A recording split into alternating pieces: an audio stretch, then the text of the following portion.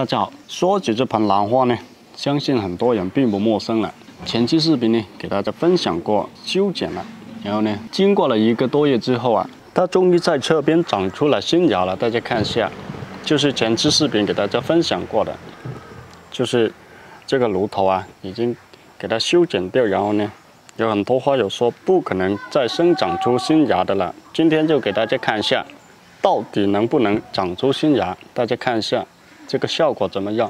不管你怎么修剪呢，它也是会在侧边长出新芽的。大家可以去翻看我之前的修剪的作品，到现在呢就是一个多月了，看一下这个效果怎么样。